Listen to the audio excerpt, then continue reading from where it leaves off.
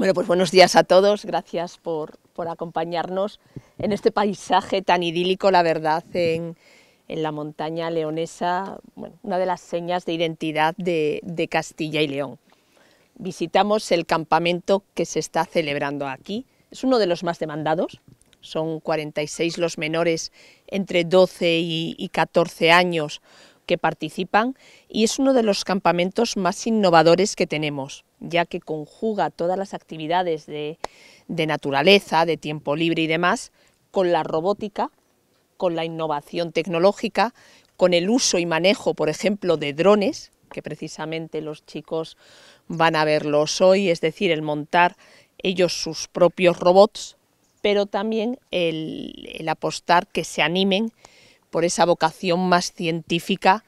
que es el uso de, los drones. Eh, este campamento se enmarca dentro de las actividades que tenemos de red activa, de los campamentos juveniles de, verano, una apuesta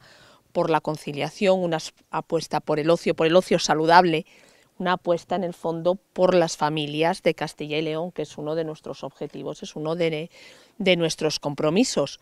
Son 3.724 las plazas que, hemos dispuesto este verano en un total de 88 campamentos, 52 eran en Castilla y León, 33 en otras comunidades y 3 en el extranjero. El de Selva Negra, que siempre es de los más demandados, y dos, en este caso, en Portugal. Eh, han participado, perdón, ya, el 80% eh, de los muchachos, el 80% de los jóvenes en, estos campamentos